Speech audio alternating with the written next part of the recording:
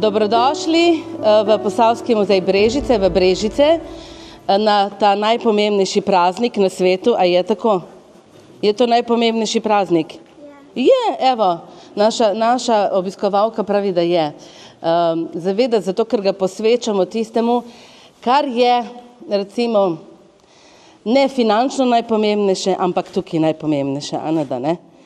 Mi svojim eh, tem srcem eh, kulturnim postavljamo en tak poseben odtis, ne? zdaj se govori veliko o odtisih, oglični odtisi, ne? pa taki odtisi. Ne?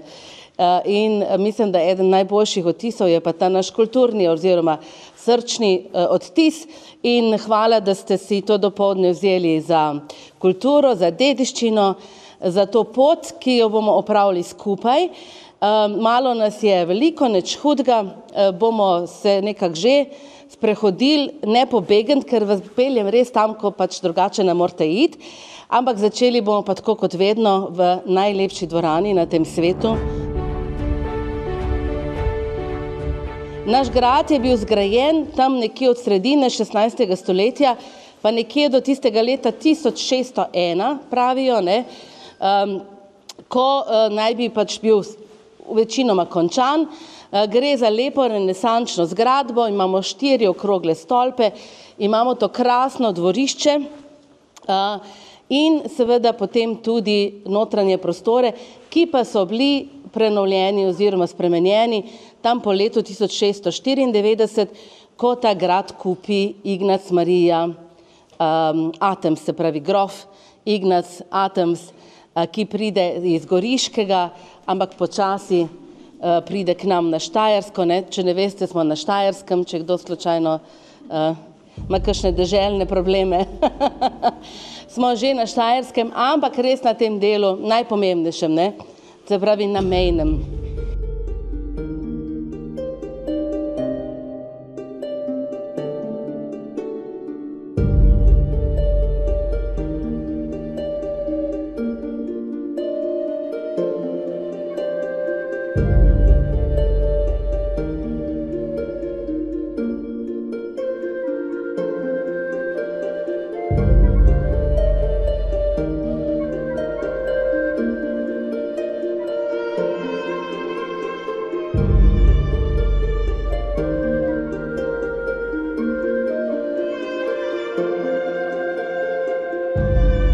To je za moje pojme pač najlepši prostor našega gradu.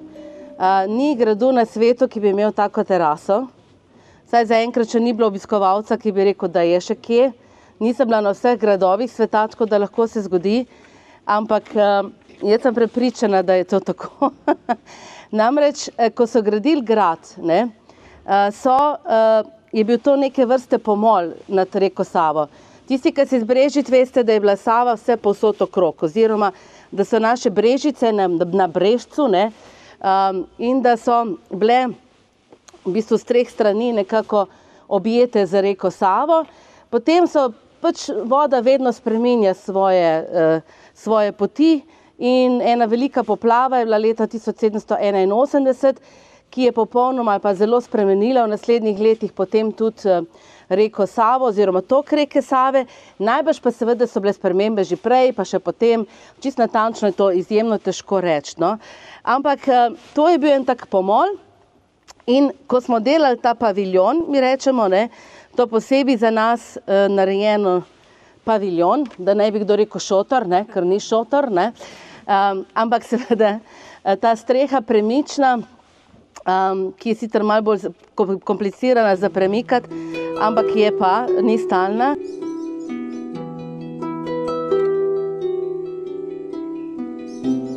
Ena ljubezenska za, za, za vstop v Viteško dvorano.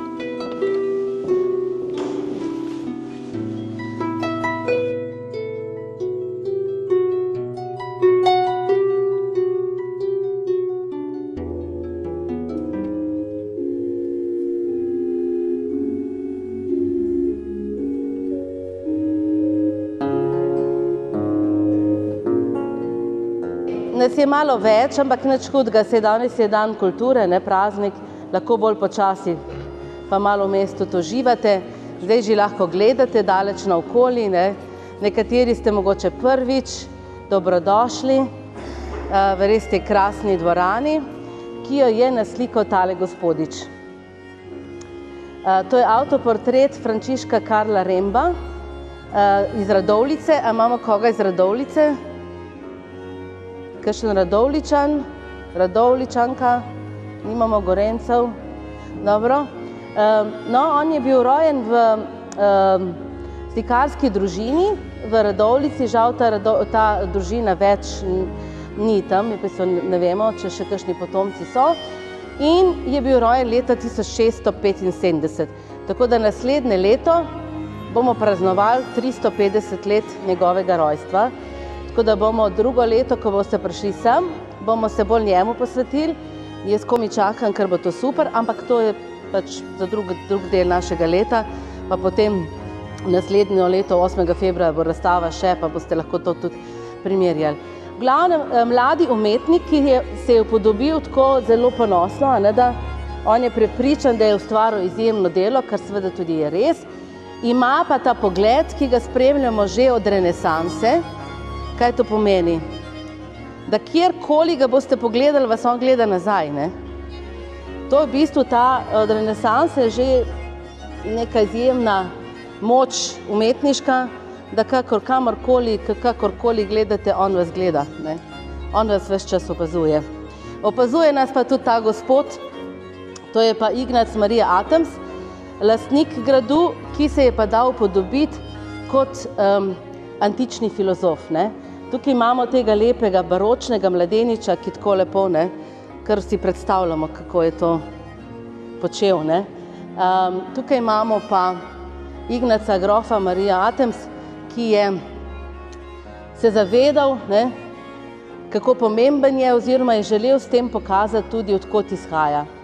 Hotel je pokazati, da v bistvu ima znanje, da je izobražen, ne, da je v bistvu povezan z vsem tem znanjem, vsem tem, kar prihaja že iz antike. Ker tudi celotna dvorana je uh, naslikana po vzoru oziroma po zgodbah iz antične mitologije. Tukaj ni nobenih kakšnih um, zgodb iz, iz recimo, mislim, uh, antično, antična mitologija, no, ki je bila takrat zelo popularna, dopolnjujejo pa biblijske zgodbe, ki so pa v teh grizajih, v teh malih prizorih, v tonu, se pravi v rjavem tonu, se pravi vse je naslikano v, enem, v eni barvi, v različnih tonih. Tukaj pa je tudi nekaj bibličnih zgodb, drugače pa je vse v bistvu iz, pretežno iz Ovidovih metamorfoz in pa še kakšna druga interpretacija. Ne. Zdaj, to je čas, začetek 18. stoletja. Iglac Marija Atems je praznoval 50. rojstni dan nekje v tistem času. Rojen je bil 15. augusta 1652 in zato ima tudi srednje ime Marija. Ne zato je on, on bil, imel, dobil to svoje srednje ime. Um, in nekje zdaj več teorij imamo kot vedno. Ne? Zakaj je v Brežicah taka dvorana? To recimo vprašajo tujci predvsem. Ko stopijo v naš grad, vse je v redu grad, ne? ampak potem, ko pa stopijo v dvorano, je pa to tako imenovani, kaj bi rekli, kar wow efekt, ne? lahko rečemo. Ne? Um, in Sej spet lahko rečemo, da ne vemo, je bil to prvi grad, ki ga je kupil na Štajerskem. V začetku 18. stoletja je imel tudi že nekaj drugih, ampak najbrž mu je ta v vsakem primeru pomenil tisto pomembno točko v življenju in se je odločil, da so v tem vzhodnem delu v bistvu ukinili nadstropja, ne, ker bomo šli pa v zahodni del, pa boste videli, da so nadstropja, da je skoraj celoten del ustvaril v dvorano, ker imamo 36 metrov dolgo dvorano, 10 metrov široko in 8 metrov visoko dvorano. Tako da to. Sloni sama na sebi, tako da kadar je kakšen potres, ne, danes bomo tudi kaj o potresih še rekli, uh, je to kar hm, ne, grozno, ker um, v bistvu statično sloni sama na sebi, ne? ampak je pa čvrsta, je bila restaurirana leta 2011-2012 in ko je bil ta potres 2020, uh, samo par stvari je odpadlo. Uh, to sem vam kazala takrat, tako da zdaj nič ne vidite, ni važno. Nič kaj takega, kar bi bilo zelo vidno. Je pa res, da pač pri tresljajih, če se karkoli zgodi, uh, odpada pač delčki, ne, delčki barve, to se pa pol vidi recimo. Zelo dobro se je takrat videlo na klavirju, smo ga imeli sicer malo drugače postavljeno, pa na pač preprogi in tako naprej. Dobro, zdaj pa preden um, bom še kakšno zgodbo povedala, bi pa povedala to, da, kaj mislite, zakaj je bila ustvarjena ta dvorana? Kaj je najpomembnejše, kar se tukaj dogaja? Hm? Si narodi, ki hrepeni dočaka dan, da kodar sonce hodi, prepiri sveta bo pregnan. Darojak, prost bo vsak, ne vrak, le sosed, pomejak. Darojak, prost bo vsak, ne vrak, le sosed, ne vrak, le sosed, pomejak.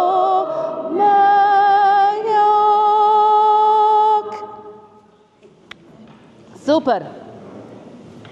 Hvala lepa.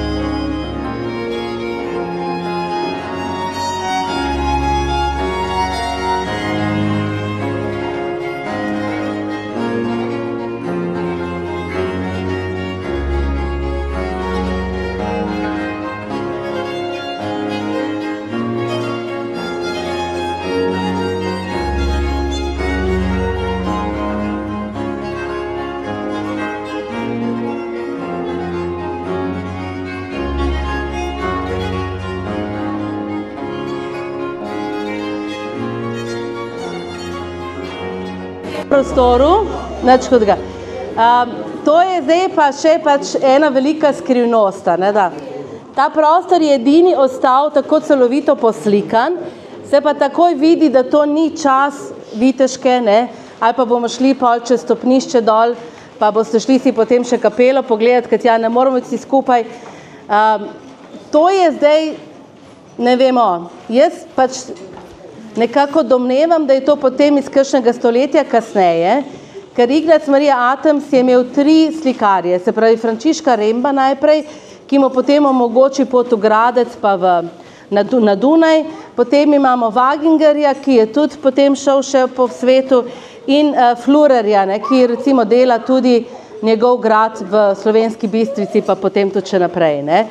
Tako da, da bi on najel slikarja, ki ni bil tako vešč, ne, se če pogledate krajino, to je pač takoj se vidi, da ne gre za tok veščega, tok, tok odličnega slikarja, freskanta, kot so bili vsi ostali. Najbrž je to potem eden izmed njegovih sinov naročil v času ali poznega 18. ali 19. stoletja, ko je bilo zelo popularno, zdaj pa azijske pokrajine. Ne? In če pogledate, vidite malo tak, tak neravno evropski svet, recimo ta dva, ne, s tem oblačilnim videzom, s temi kapami, s pokrivali, recimo sta najbolj azijska, pa malo tudi tam tiste čovne, ki pogledate. Tako da to je zdaj naša naslednja želja, ne, jaz danes govorim same želje, pa še jih bom. Da bi res um, se našel strokovnjak, ki bi znal to dobro preučiti, dati v nek kontekst. Žal takih prostorov ni veliko, v Sloveniji sploh ne. Na gradu Jable poznate mogoče kdo tisti kitajski salon ampak tisto so tapiserije. Uh, take poslikave v bistvu pri nas težko primerjamo.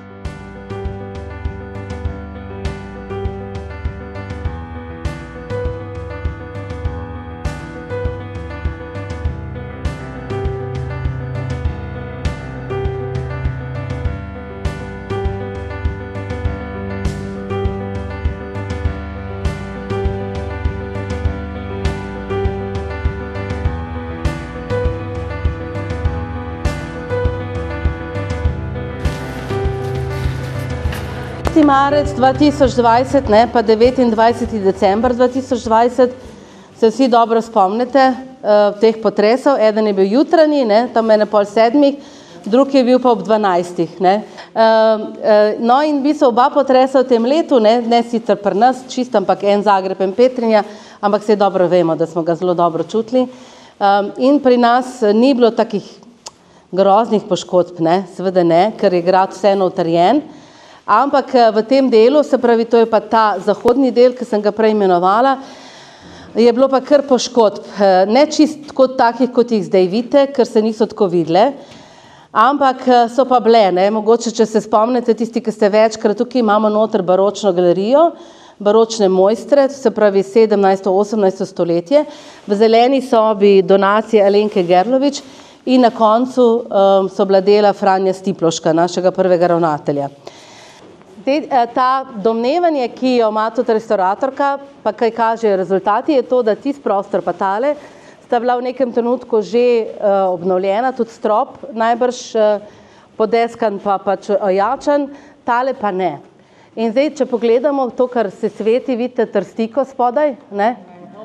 Uh, tako da najverjetneje bomo, bomo morali pa tukaj kaj več narediti, ker če pa začne odpadati ta omet od trstike, ne, tukaj se vidi tukaj, je pa pomeni, da, da lahko kar kaj uh, odpada.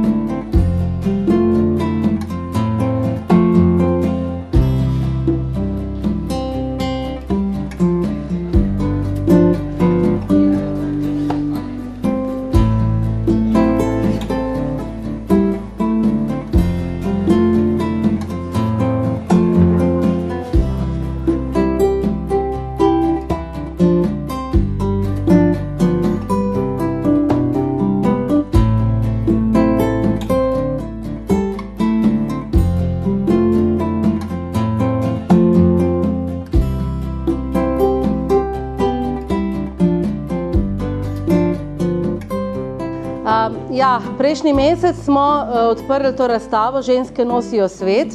Gre za ameriško fotografinjo indijskega rodu Leka Singh, uh, ki živi v Dallasu, ne, v Teksasu. Um, in ni še nikoli slišala za Luko Dončiča. Ne. Vas moram razočarati. Ne. Smo jo takoj skregali, takoj smo jo skregali. Uh, takoj smo, ampak je pa. Eh, je pa rekla, ena druga, da pa je pa, ena druga je pa poznala, je pa rekla, da je pa zelo luškeno. Pa smo bili pa zadovoljni. Dobro, intermeco, ampak te ni važno, no. E, to je pač velika Amerika in veliki svet. A, v glavnem Leka Sink je eh, filmarka, fotografinja, dela na različnih področjih in je imela eno tako turnejo s to razstavo po Evropi. A, bilo je že na portugalskem, a, pa zdaj, zdaj ne bom, pa, zdaj se pa nisem, zdaj sem se pa zmedla. V glavnem, ene tri države že na zadnje pred nami v gradu Trakoščan na Hrvaškem in uh, mi smo bili takrat dogovorjeni, sveda, da potem pride tudi k nam. Gospa Leka Sink je bila v Brežicah, je bila navdušena nad gradom, takrat septembra, eno popovdne, pa ta njen prijatelj Alfonso um, in um, je rekel, da še nikoli ni imela razstave na gradu. Je pa gospa malo starejša, kot je tam na fotografiji, kakšnih 20 let tam manjka. uh, neč kot galušna, krasna.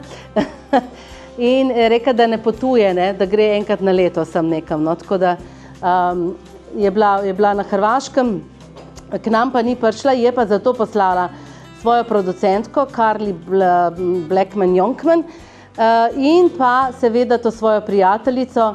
Um, Tatjano, princeso, njeno veliso, kraljevo visočanstvo, princesa Grčije, uh, Tatjana, rojena Blatnik.